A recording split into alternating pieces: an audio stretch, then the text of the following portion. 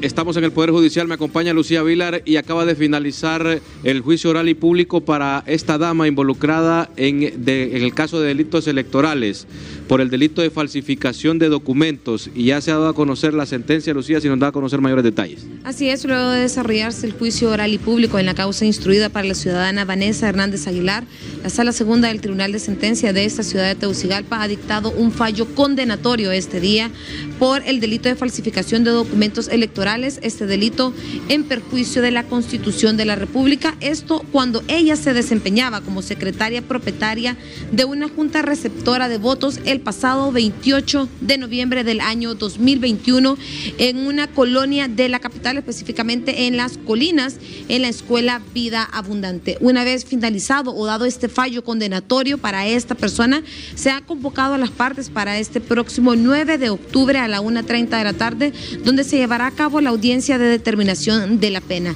Es importante resaltar que el delito de falsificación de documentos electorales tiene una pena que oscila entre los cuatro a seis años de reclusión.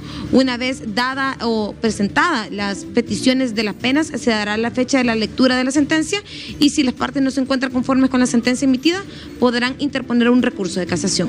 Lucía, tenemos entendido que durante el proceso de juicio oral y público se conocieron diferentes pruebas presentadas por el Ministerio Público. Así es, diferentes medios de prueba documentales testificales con los cuales el ente acusador del Estado quebrantó el estado de inocencia de esta persona, por lo que el tribunal, al deliberar, ha encontrado culpable dictando un fallo condenatorio por unanimidad de votos para la ciudadana eh, Vanessa Hernández Aguilar por el delito de falsificación de documentos electorales en perjuicio de la Constitución de la, de la República.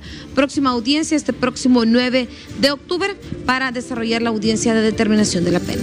Un proceso bastante largo que se ha desarrollado. Así es, eh, fue un juicio intermitente, no se desarrolló durante semanas completas, sino que se desarrollaba durante diferentes días de aproximadamente unas eh, tres semanas. Ya hoy se ha dado este fallo condenatorio y se estará a la espera de este próximo 9 de octubre para llevar a cabo la audiencia de determinación de la pena para esta persona declarada culpable.